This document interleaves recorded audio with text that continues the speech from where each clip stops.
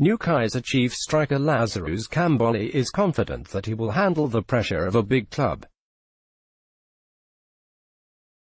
The Zambia international recently secured a move to the four-time Premier Soccer League PSL champions from Zambian Super League outfit Zesco United.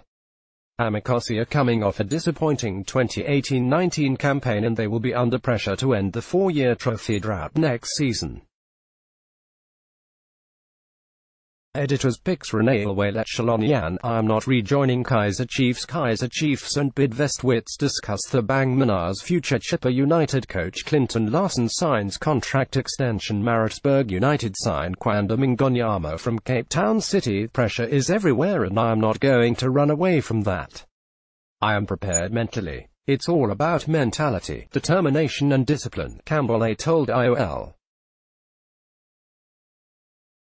I know that people will expect a lot from me because they know what I am capable of, they know what I can do, so they will be expecting that when I come here. I know the pressure that is at Chiefs. To tell you the truth, I am equal to the task, he continued. Kambole is keen to emulate his Zambia teammates Mwape Musonda, Black Leopards, Justin Shonga and Augustine Mulenga, both Orlando Pirates, who flourished in the PSL last season.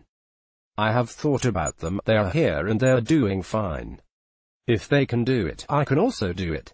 I am prepared mentally. It's going to be a new challenge. It's not going to be easy, but I know what I possess and what I am capable of. I'll come here and do my best, he added.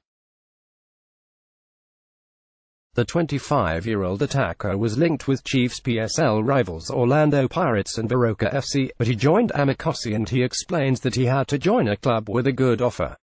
Article continues below, the most important thing is what they bring on the table. Football is business. Whoever is going to come with a good offer then that's where I will go, he explained. They have good facilities. There is good football here. There is exposure and a lot of Zambians are here so it's going to be like a new home for me, Kambole concluded. Let's block ads. Why?